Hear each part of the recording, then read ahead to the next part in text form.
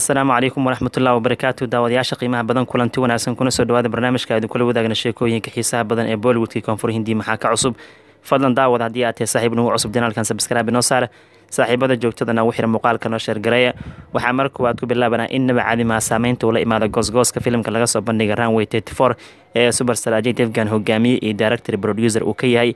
Devganna filimkan wuxuu ku soo bandhigay fariin waaqici ah. Sidoo kale dabcan ku saabsan kiiska arrimaha dabcan diyaaradaha iyo sidoo kale markala fiisha qaladaadka ay galaan pilotka ama duuliyaasha ayadoo amita bajanna uu baaraya qalad uu gala ajay devgan.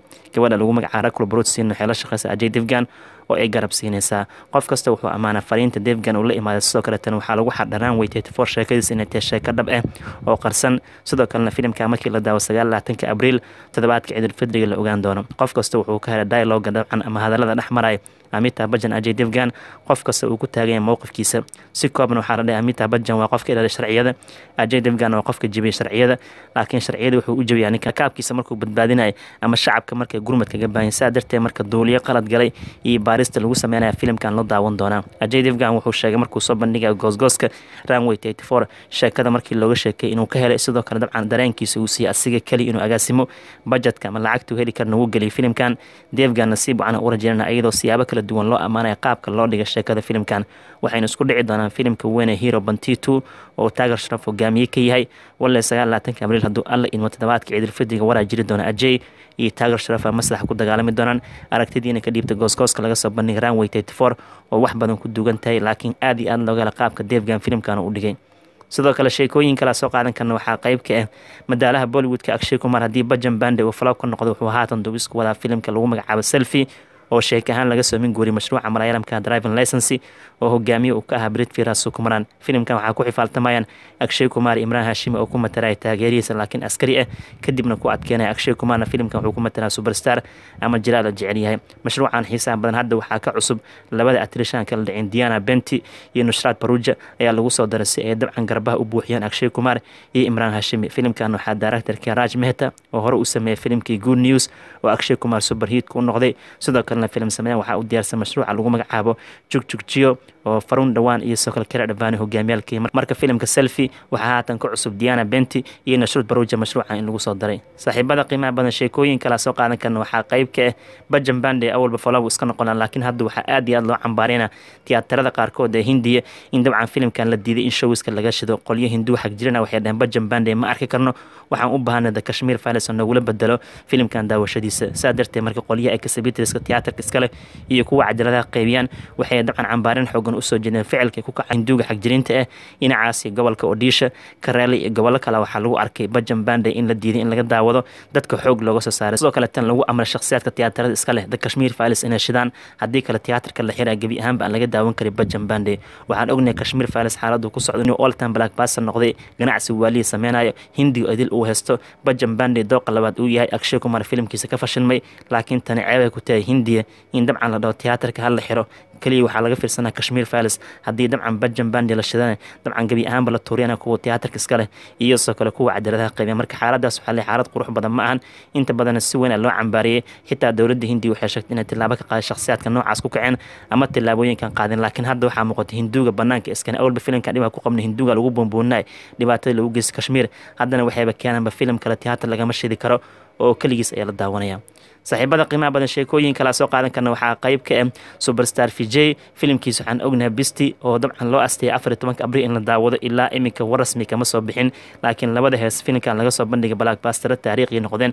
Arabi kuthu waxaan ognahay laba boqol milyan oo views ka badan ka tilaawday heeskii ugu dambeeyay uu soo bandhigay asiga ku luqeyna ayadan waxay noqotay blackbaster akhbaarta maanta ina waxay tahay laba akhbaara ka cusub. Midda koowaad waxay tahay xuquuqda filimkan waa la iibsaday ama rightska suuqyada caalamka waxay iibsadeen kambaniga lagu magacaabo ayangaran international waxayna ku iibsadeen soddon iyo laba karar. Suuqyada caalamka waa filimka ugu lacagaha badan vijay hogaamiye ka yahay ee lacagta ugu badan ugu iibsaday overseaska ama suuqyada caalamka. Sidaa darteed bisti waxaa laga rabaa lixdan iyo shan karoon ka soo haray suuqyada caalamka si uu hiid dhammaystiran u noqdo. Sidoo kale akhbaarta kale xiisaha badan waxay tahay bisti hadda wuxuu u muuqdaa finland baaqanin oo vijay iyo tiimkiis afar iyo tobanka abriil kama tanaasuli doonaan sababta waxaa laga horgeeyey qolyaha filimada faafreebaan waxaan la siiyey shahaadada loo yaqaan u s certificate oo ay ka dhigan tahay universal adult certificate la siiyo qof kastaa daawan kara markii laga reebo carruurta da-da koosa laba iyo tobanka sano oo u baahan haddii ay tiyaatarka aadayaan qof inuu gacanta ka sii qabto. Filimkana waqtiguu soconaya waa laba saac soddon iyo shan daqiiqo. Fijayn oo ku xarakeyn doono sidoo kalena uu ku matala international don ama tuug caalami ah. Waxaa directorka ninka lagu magaca nelson dilib kumar oo filimkiisa ugu dambeeyay doctor sanadka hore sameeyey siva kartigian